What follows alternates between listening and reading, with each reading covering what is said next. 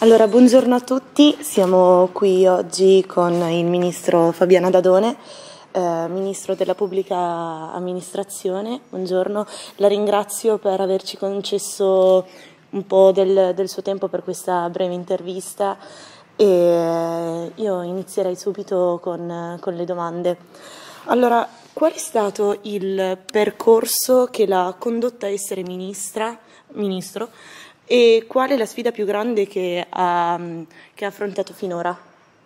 Allora, non c'è stato un percorso prestabilito e non mi sono mai data l'obiettivo effettivo di diventare ministro, ho sempre lavorato come parlamentare con la serenità di chi vuole fare un buon lavoro all'interno delle istituzioni, per cui ho sempre studiato approfonditamente tutti i dossier perché mi piacevano, ho seguito tutte le riforme costituzionali con tanta passione e con tanto senso dello Stato, lo devo dire molto onestamente. Sfide ce ne sono state tante, tutti i giorni.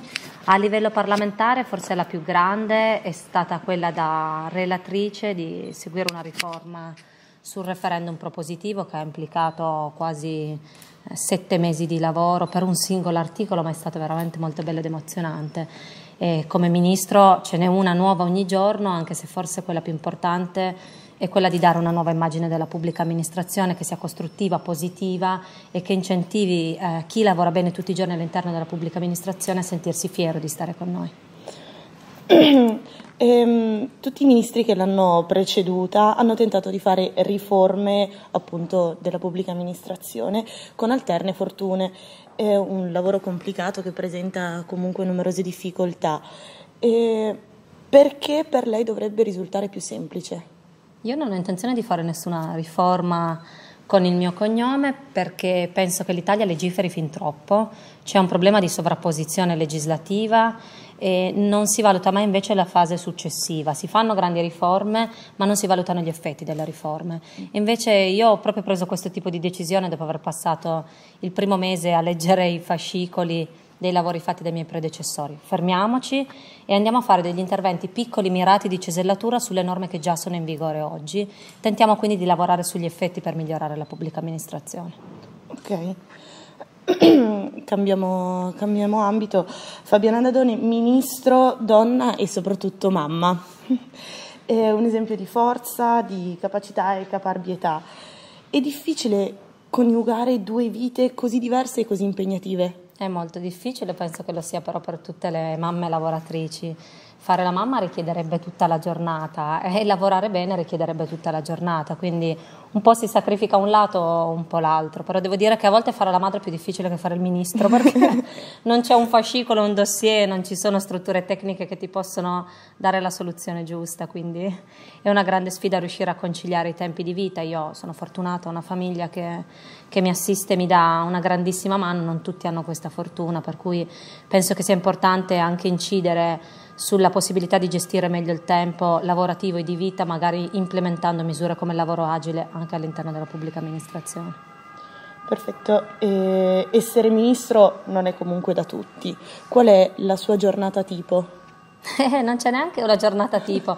Eh, in realtà non si stacca mai effettivamente dal lavoro. Il lavoro dura giorno e notte, si porta a casa, si porta nel weekend eh, si fanno un sacco di, di riunioni, si, si, leggono un sacco di, di, fascicoli, ci si sposta tra un palazzo e l'altro per riuscire a coordinare i vari tavoli di lavoro.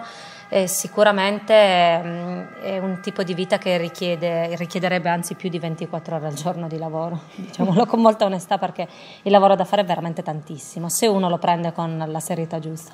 È un life motif che dà la grinta tutti i giorni, quale potrebbe essere?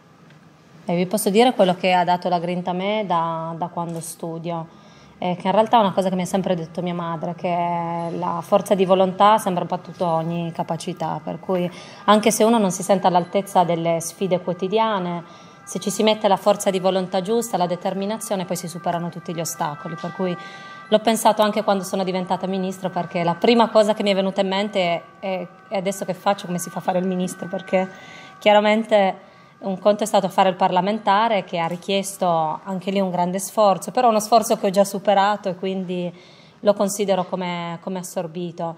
Invece riuscire a fare il ministro eh, senza una, una, formazione specifica, perché non esiste una scuola di formazione per fare il ministro, È stato abbastanza eh, scioccante all'inizio, però ho pensato a quello che mi ha sempre detto mia madre. Se hai forza di volontà riesci a superare tutti gli ostacoli. Ed effettivamente funziona. Effettivamente. e, ehm, allora, noi in, qu- in, quanto studenti dell'Università degli Studi Internazionali siamo consapevoli che eh, i vari aspetti della vita, anche, quanti- anche quotidiana, sono oggigiorno sempre più eh, globali e interconnessi tra di loro.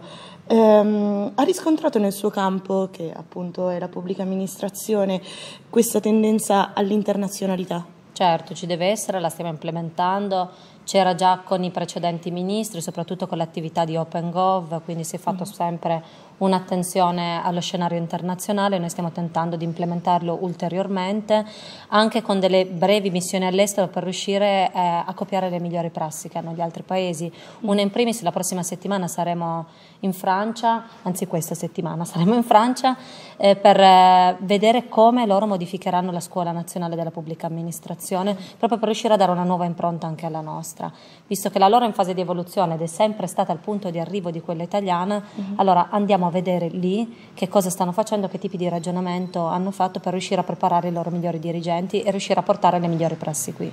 Poi chiaramente questo discorso si può applicare a una serie di ambiti, però il, il, mondo oggi è tutto internazionale, quindi non si può pensare di chiudersi in se stessi e di stare dentro una torre d'avorio senza guardare il mondo intorno. Ok, e appunto l'Italia riscontra un elevato tasso di, di giovani che oggi scelgono appunto di scappare in un certo senso all'estero per cercare fortuna ed è un po' il, il così, la cosiddetta fuga di cervelli, via. Eh, a suo avviso, quali potrebbero essere le iniziative per contrastare questa, questa tendenza? Io parlo semplicemente per la pubblica amministrazione perché questo è il, è il ministero che, che, dirigo. Bisogna riuscire a rendere la pubblica amministrazione un'alternativa attrattiva. Mm. Io stessa quando sono uscita dall'università eh, non ho avuto il sogno eh, o la, la speranza di diventare un alto dirigente dello Stato Oggi, col senno di poi, penso che se lo Stato fosse venuto all'interno della mia università e avesse creato un canale di connessione tra l'università, la scuola nazionale, o anche implementando gli stage all'interno dei ministeri avrei avuto questo obiettivo. Penso che eh, non dando sempre un'immagine negativa della pubblica amministrazione solo come posto fisso, posto nel quale si entra e dal quale non si esce più, ma come eh, un'ottica di, di, crescita e di, di, braccio dello Stato, quindi piena di, di soddisfazioni, di missioni e non tanto eh, la cosiddetta ottica della mansione, penso che potrebbe essere un ottimo punto per riuscire a disincentivare i giovani di andare fuori dall'Italia. Ma venite prima da noi, la pubblica amministrazione è bella, eh, ci sono tanti ruoli splendidi e non vedo perché sempre andare a cercarli all'estero nelle aziende private. E credo che darebbe anche tanta energia allo Stato che oggi ha bisogno di energie nuove, perché l'età media, lo saprete, è molto avanzata, quindi ci servono giovani preparati e che abbiano una mente smart al passo coi tempi. Eh, chiudiamo l'intervista. Eh, qual è il messaggio e il consiglio che vuole dedicare a noi giovani adulti?